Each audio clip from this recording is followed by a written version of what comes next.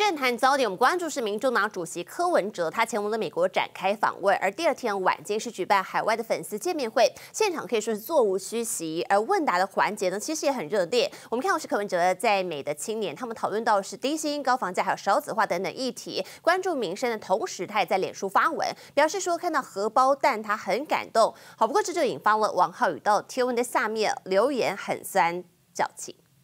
掌声欢迎我们台湾民众党党主席柯文先生。整理一下西装，打上领结，还有花六千元 settle 的发型。民众党主席柯文哲抵达美国的第二天，晚间来到纽约的餐厅举办海外粉丝见面会，现场座无虚席，还有人站着都要参加。柯文哲也分享自己过去的留美经验。面对问题是解决问题的第一步，小问题解决了就没有大问题。不要幻想哦，不得实路的进步。绝大多数的进步是小小的改善，每天进步一点点，进步一点点。为什么呢？这个不会引起。太多的痛苦，无痛改革，你知道提供心灵鸡汤，振奋在美青年和年轻学子们拉近距离的同时，身为角逐二零二四总统大位的候选人之一，柯文哲也深入探讨现在台湾青年关注的议题。难得柯批现身美国，大家在现场把握机会，问好问满。很多人举手来，一二三一次好了啊！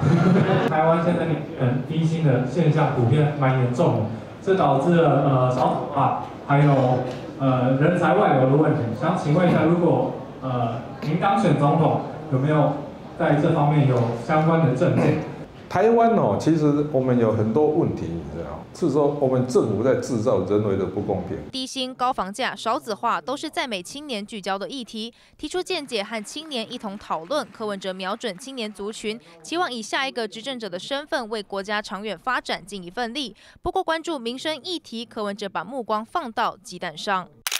开心的在脸书晒出在美国的第一个早餐，写上看到荷包蛋觉得非常感动，还特别 hashtag 荷包蛋，引来前桃园市议员王浩宇在下面留言很酸，有够矫情的。明明台湾平均吃蛋数量比美国还多，怎么不把价钱拿出来比一比？不过也有网友笑说，拜托，美国人也吃荷包蛋好吗？柯文哲访美之旅，从衣着到脸书发文，一举一动都持续受到各界关注。记者综合报道。